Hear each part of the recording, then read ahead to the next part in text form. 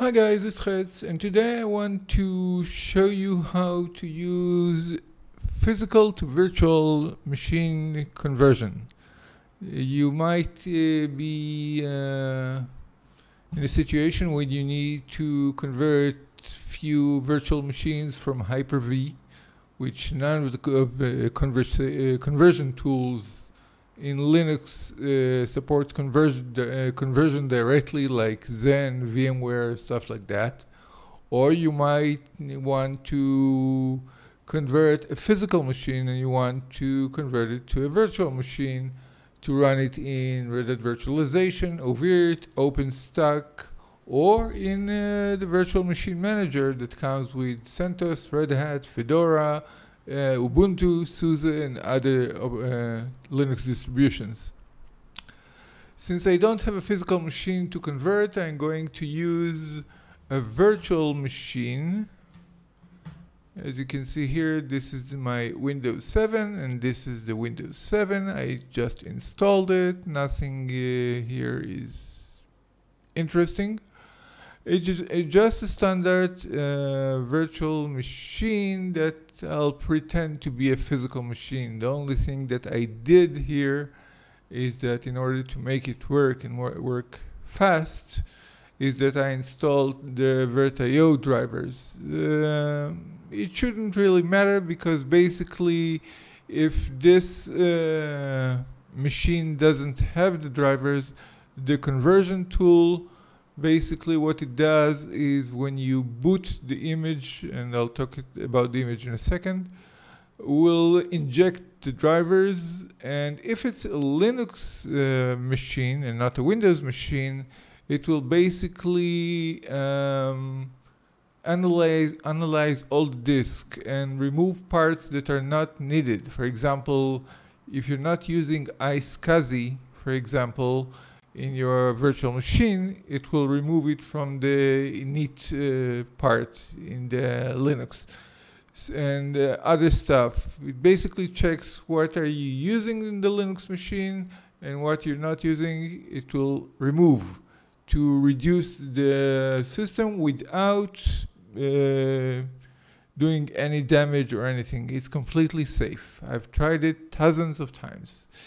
So I have this machine right now and I want to convert it to a virtual machine.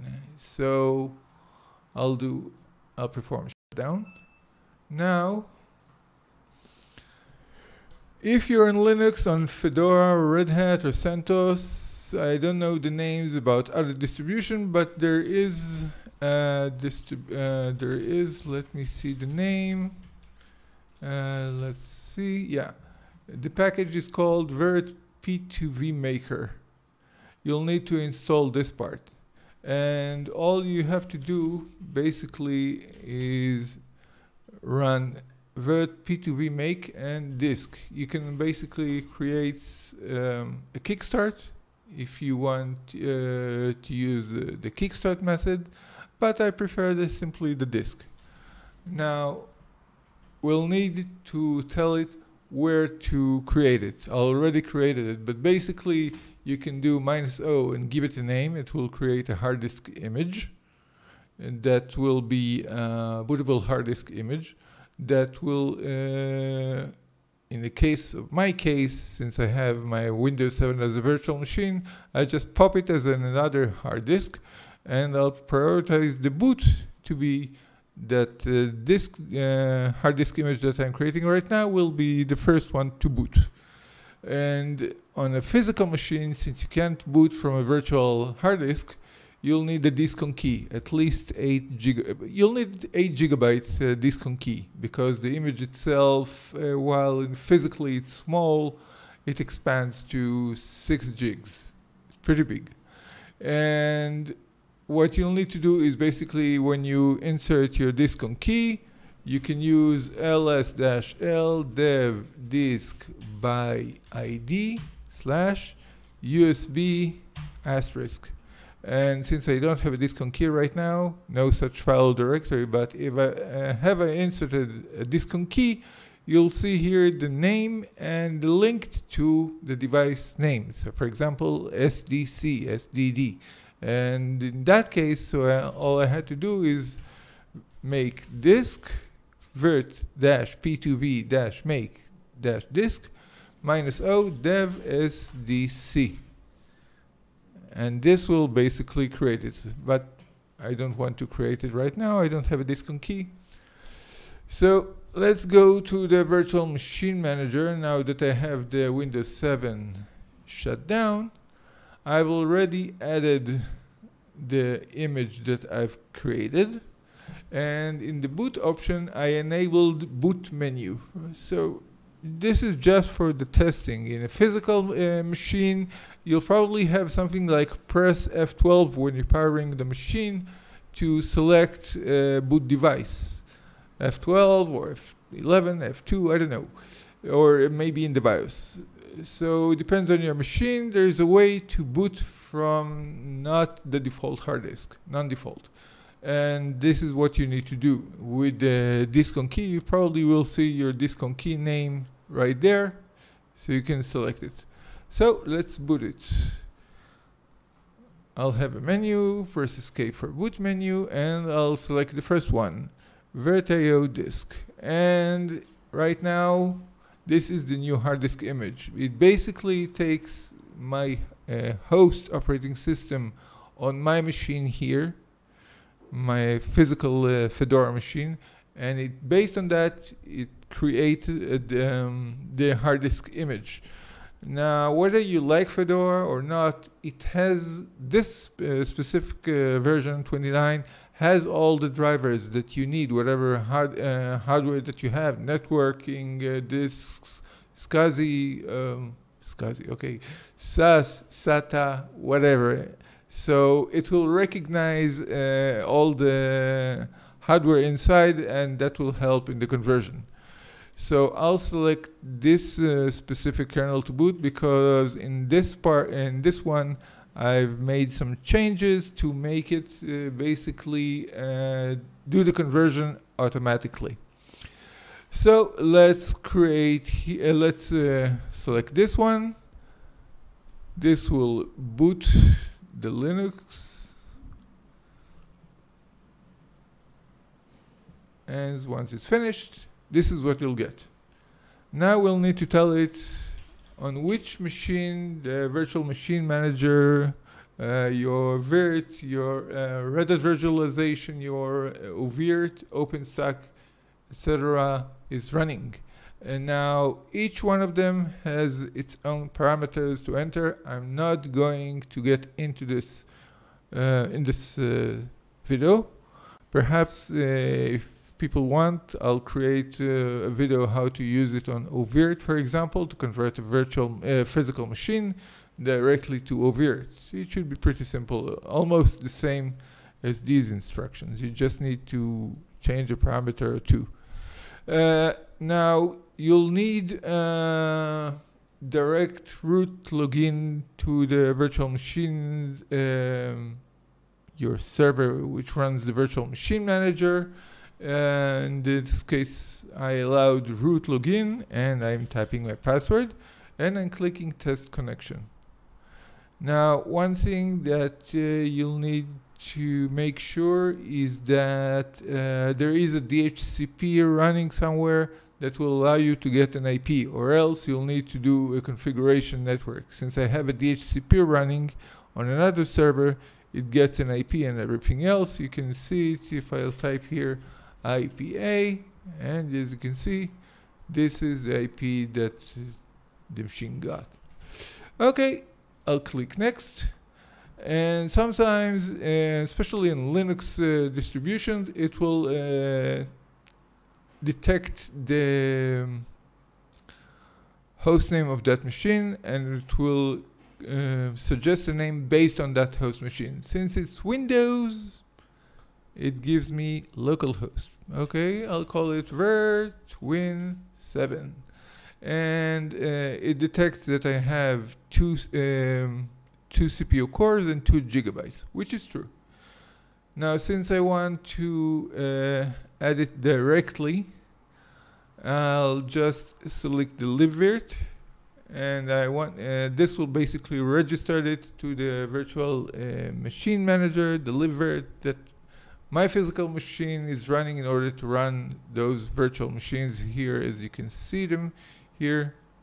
So here this uh, server is running uh, libvirt and is running all these virtual machines. So I'm connected to it, to vNode 1.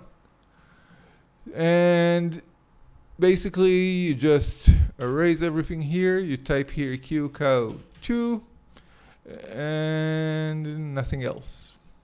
You just do a start conversion. Now, if you want to test it and you don't have a physical machine and you try to follow my instructions, you might get an error that uh, it needs the Windows drivers in order to inject them to the new guest VM. And in order to get that, I'll post a link where you can download the RPM directly. Again, uh, if you're using Ubuntu, SUSE, whatever, look for a virtio-win uh, RPM or package or deb or any repository and install it on the machine like my vNode 1 install it there so it can inject from there to the new VM the Windows drivers or else you might have some problems now this conversion uh, it works pretty well on Windows 8 and 10 and uh, 2012 2016 I'm not sure about 2008. I'm pretty sure in 2003, uh, Windows Server 2003, it doesn't work. And Windows XP has been deprecated in terms of virtual machines, but you might still be able to run it and hunt for the some old drivers and install it. But I'm not sure the conversion will work well. I haven't tried Windows XP to convert. That's the earliest ISO that I have, this Windows 7, and that's what I'm using. So the conversion was successful. I click OK, and I here I click shutdown and not reboot. Okay, it's shutting down the machine and it's off. We can close this window. We can go back to Virtual Machine Manager. And here, as you see, it registered a new Virt Win 7 machine that we just created. I'm not going to run it. I need to make some modifications to it. Yeah, and I clicked the wrong key. Sorry. Okay, um, here in the NIC, uh, the device model, uh, basically since I installed the VirtIO, uh, it should be it should work okay, uh, but it might not. Uh, I'm not sure about this one. Uh, virtual network. Uh, basically, if you're working with few machines with uh, virtual uh, with libvirt, the best way would be either to use NAT, but that way you can only access it locally, or create a bridge from your wired Ethernet connection.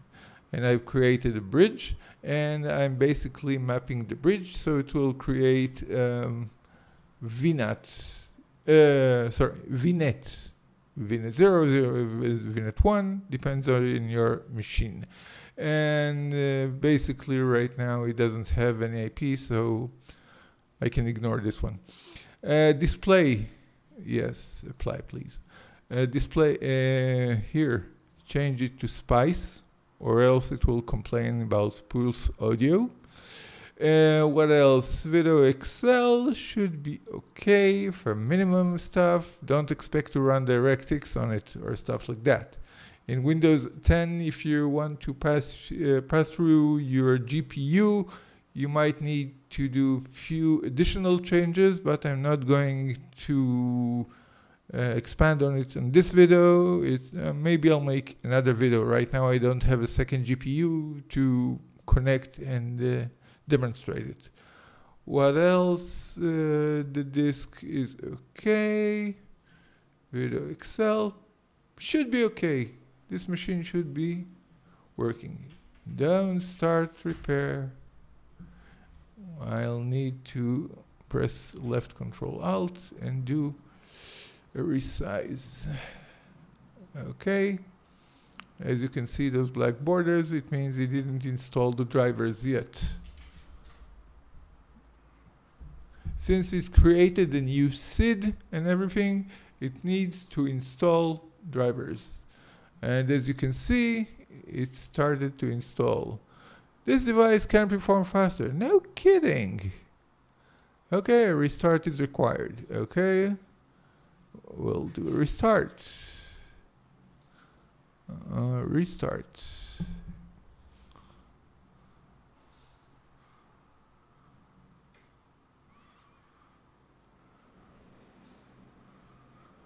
Thank goodness the boot is pretty fast. It's a pretty new Windows 7 I just installed a few hours ago. And if everything works okay, there should be a network interface and it works. And uh, it might probably ask to install. Oh, yeah. I think I forgot something. Yeah. Audio. We might need audio. So we'll uh, click sound, click ICH9. Okay, in the next shutdown. Okay. Fortunately, with the Virt, uh, Virt manager and everything, I have to basically shut the machine down and uh, power it on instead of restart. Go figure.